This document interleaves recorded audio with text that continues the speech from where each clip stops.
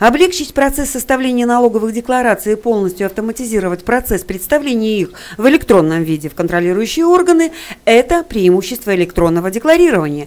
И сегодня в инспекции по налогам и сборам Московского района города Бреста эту систему используют более трех тысяч плательщиков, что на 22% больше, чем за аналогичный период прошлого года. Пользователями системы электронного декларирования могут стать все желающие, юридические лица, индивидуальные предприниматели и физические физические лица в том числе. Для регистрации в качестве абонента удостоверяющего центра Республиканского унитарного предприятия информационно-издательский центр по налогам и сборам плательщик должен обратиться по адресу город Брест, улица Комсомольская, 34 и предоставить следующие документы.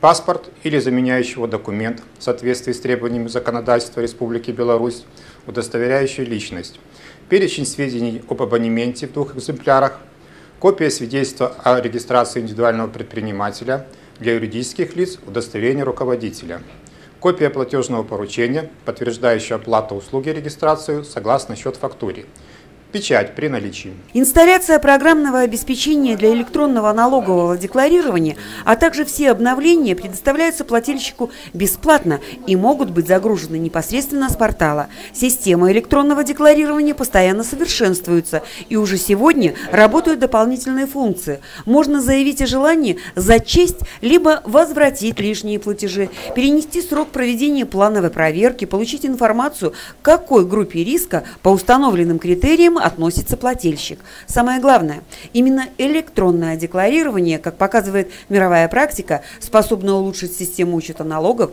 оперативного сбора и обработки информации.